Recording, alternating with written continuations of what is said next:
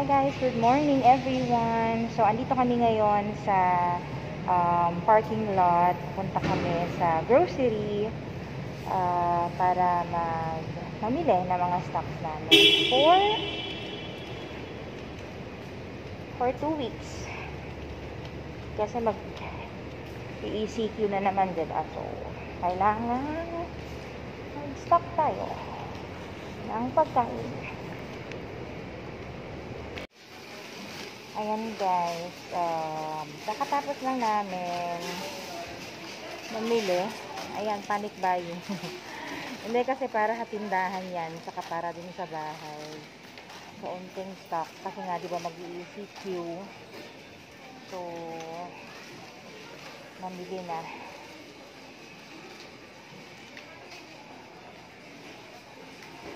Ang daming tao.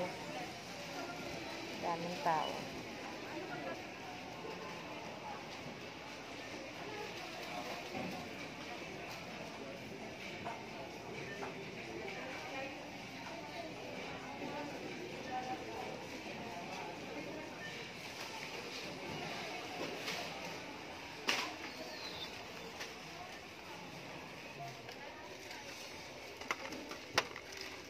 Palitan natin guys yung ano ni Edwin.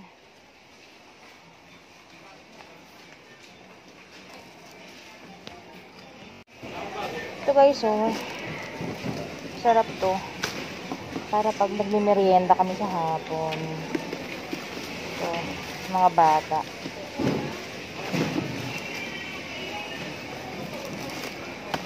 Ito, hindi lang ako kaya kaya na. Kasi kahapon nagre-request siya. Sabi niya mami I want chocolate. Parang hindi naman ano may chocolate pa rin kaunti pero more on biscuit talaga siya. Nakabalot lang sa chocolate. Syempre hindi mawawala yung gatas niya. Actually nung nagpa-deliver kami the other day sa grocery kumuha na ako ng isang box. Kumuha ulit ako ngayon para lang merong stock. Sobrang bilis na mag-milk yung ganito siguro wala pang 2 weeks, ubos na. Tapos, meron tayong soli, banana. And then, Mentos beets.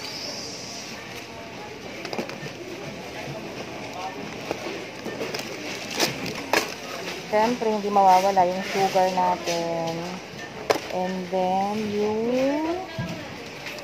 saan na yun? Ito guys, kumuha ako ng pang ano kasi medyo pudpud na yung stock ko sa bahay. So, try natin to. And then, ito.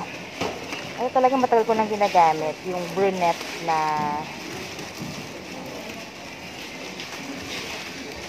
brunette na color.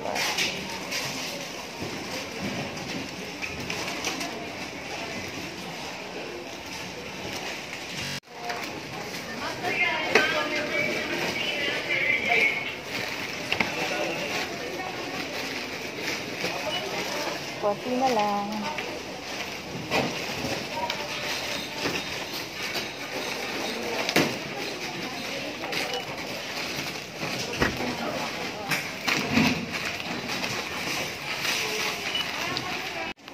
Oh. Na Ah, na computer. Yes, yan ah.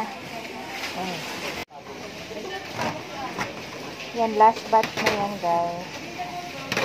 Last batch. And we're done.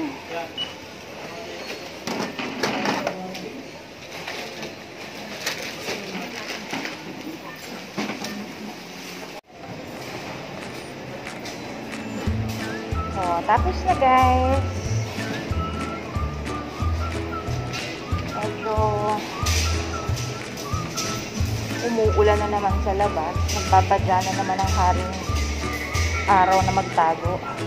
Buti na lang nakapagpatuyo ako kahapon.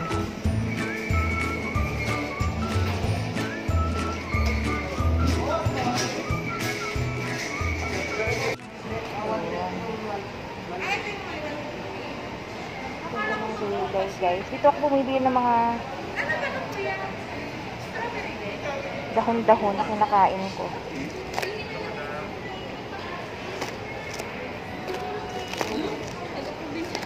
Kinukuha ko yung medyo hilaw pa para matagal siyang mastak sa sa ref. So, wala nung lettuce na isa na binibili ko. Magkano to, kuya? 100. Pili tayo. Kasi this week, kasi nung last week guys, medyo napaparami na naman yung kain natin. So, I plan, this week, puro gulay-gulay lang muna tayo ulit. Ganda ng pipino nila, guys. Magkano dito, kuya? 100 ma'am.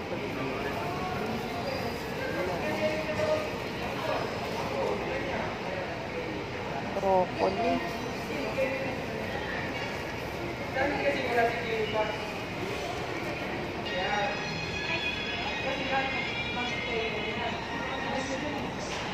Ay, apple, may avocado. Yan ma'am, sa mga pulutan mo yan.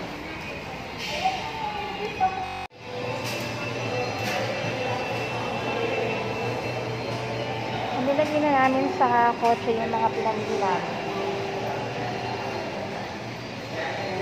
Punta na kami ng Mercury bili ng gamot.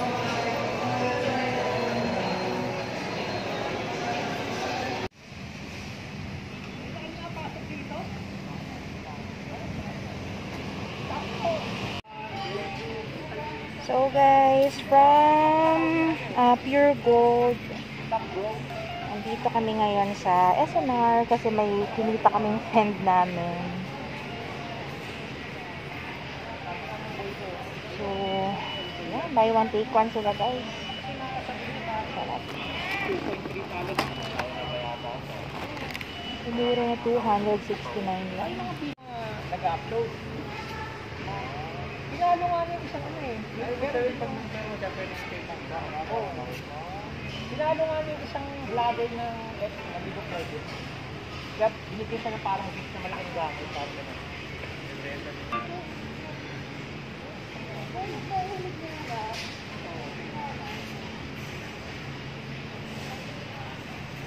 Ang dami niyang tinapay guys. Sobra.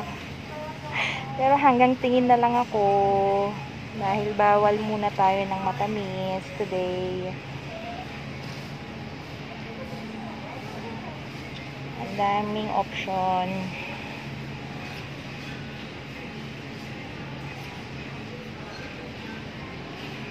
Hello! Dapper Cards. Ano to? Na-extra kami. So, meron tayo guys, uh, creamy ranch dressing para sa mga bata. Para sa mga bata. Work from home ako. May so, Alam mo. Minsan, may nahabol na mo na kayo. meron din ito. Ng pera. Pa. So, premium fried peanut. And then, yung Delimundo. Favorite na favorite na Edwin. Hello guys,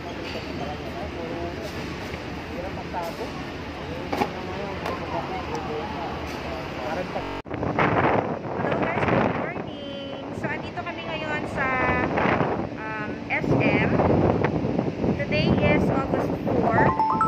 So, another um, last minute grocery. Kasi malapit na nga mag-ECQ. So, may mga kulang pa kami sa bahay na kailangan namin mag-stock. So, um, kasama ko si Edwin. Para sure na sure na hindi na kailangan lumabas during um, ECQ.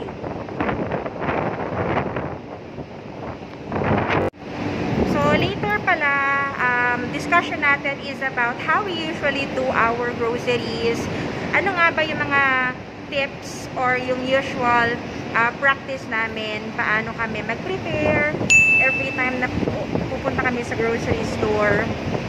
And, um, share namin sa mamaya guys. How we usually do it. Ayan. Kaya muna daw siya sa loto. Baka manalo.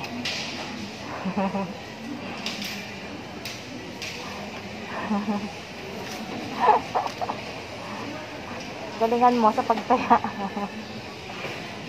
Para mabili na natin yung buong grocery. So, wala pa naman masyadong tao. It's 11 in the morning. So guys, don't forget, dapat lagi tayong merong eco bag na dala. Kasi malaking bagay din yan. Imbes na, di ba hindi na kasi uso ngayon yung, or pinagbabawal na kasi yung mga um, plastic bags. Unless ipapalagay mo sa uh, box yung mga pinamili mo. So, handy lang naman siya. Make sure that you have your own bag. So, another tip guys, make sure that you have a list or a copy of the things that you need to buy sa grocery. Um, para nga naman mas madali, especially ngayon, di ba, ayaw natin na magstay ng sobrang tagal outside. So, this will help you na mabili ng mas mabilis yung mga items na kailangan yung uh, kunin. Um, usually, one page lang to. Ang ginagawa ko is, um, after ko ilista lahat ng items, kinakat ko siya into two. Tapos, since kaming dalawa ni Edwin yung namimili, um, tig-isa kami ng paper. So, mas, uh, mas lalong mas mabilis na makapamili kaming dalawa. Actually, sa items, mas maganda nga kung magkakasama na yung paglilista, let's say, mga um, kailangan sa kitchen, magkakasama na dapat yung listahan niya, yung mga toiletries, para pag pumunta ka sa isang aisle, mas madali mo siyang mabili or mas mabilis mo siyang makuha.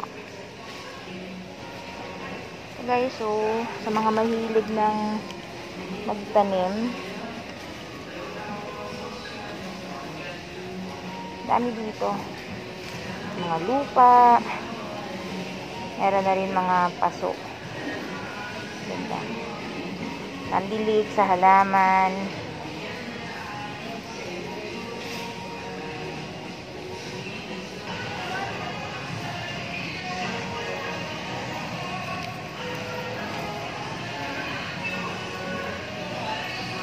Kapamewang pa.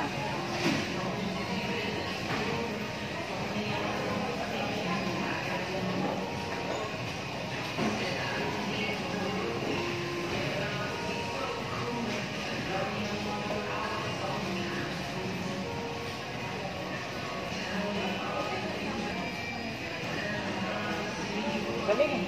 Ilan? Galing umiwas. Wala? Kahit balik pa ya, wala? Hindi mo pa, ano, hindi pa time. So, ayan na guys. Tig-isa kami ng listahan. Eh. And then, mamaya maghihiwalay kami. Kukuha lang kami ng card. So, don't forget to sanitize, guys. Maghawak. Mas mabuti na yung OA, guys. Kaya sa manututan.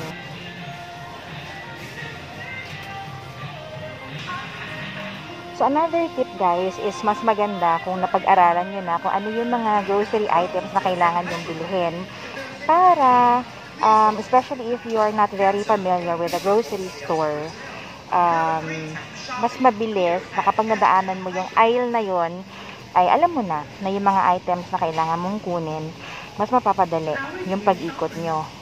Imbis na yung pabalik-balik tayo.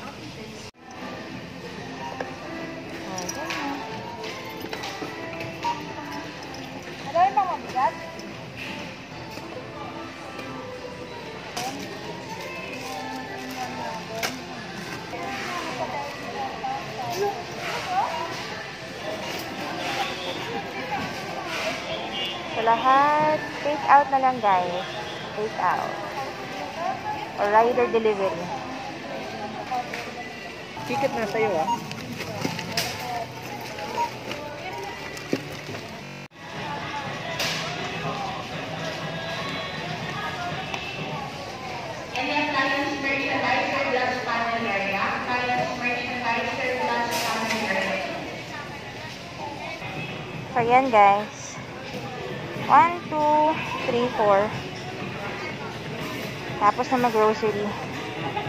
Antayin ko lang. Bili kami pagkain. For lunch, it's lunch time. So, tapos na kami mag-grocery, guys. Siguro wala pang 1 hour na tapos na namin yung pag-grocery. Sobrang helpful kasi talaga na meron kayong listahan. Ah, mas mabilis, mas madali na mamili. Ah, kung aware na kayo or alam niyo na kung ano yung mga kailangan yung bilhin. Kasi tuloy-tuloy na. Sobrang mas convenient sa atin. So, bumibili lang guys si Edwin ng food namin. Nakapila pa siya. So, punta lang tayo sa Goldilocks. Bibili ako ng food. Pasalubong para sa mga bata. So, yan. Favorite nila.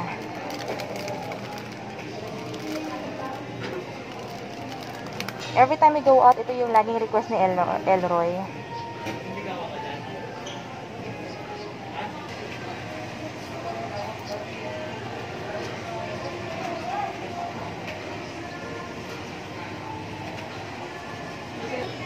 Yan na guys. Diba?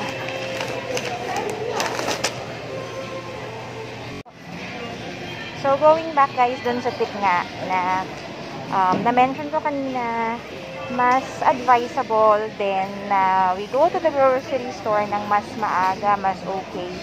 Uh, usually, open naman sila as early as 7 in the morning para maiwasan natin yung mga tao, yung dagsa ng tao.